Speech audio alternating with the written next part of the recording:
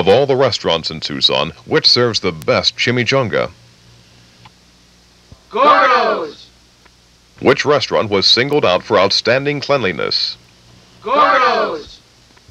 The best chimichanga served in the cleanest restaurant at the lowest price, Gordo's.